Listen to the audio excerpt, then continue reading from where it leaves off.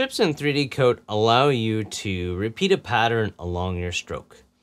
So with one of our default brushes selected, we'll use the hard round and we'll select, actually let's make a stroke real quick on this surface.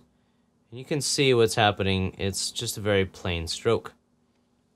We'll leave that on there. And now we'll activate a strip. And if you don't have your strips panel activated, it's under Windows, Pop-ups, Strips. It's right there.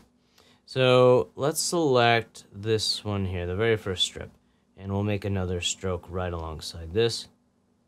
And you can see that it's actually taken into account the image alpha of the strip. And it's placed it along our stroke. You can do some more interesting effects with this if you combine one of your brushes with uh, the strip. So we'll, we'll use this ring brush here. And let's use the, well, we'll use the same brush for now. Or, sorry, the same strip. And we'll make a stroke along here as well.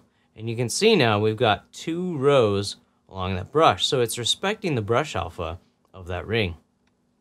Now, for example, you could use one of these zipper strips here and do the same thing right along here.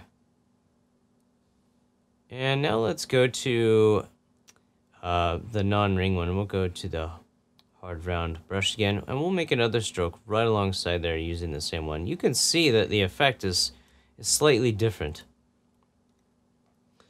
Alright, let's create a new layer, and we'll hide layer 1.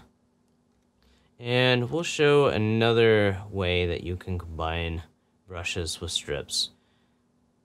Alright, we'll use a slightly more custom brush. Let's go with one of these sponge looking brushes. And let's select the chain strip and we'll do a stroke along here. You can see that it's it's doing a sponge-like pattern along the chain that we've just painted. So you can do all sorts of interesting effects when you combine strips with your brushes. And don't forget that you can also combine your masks and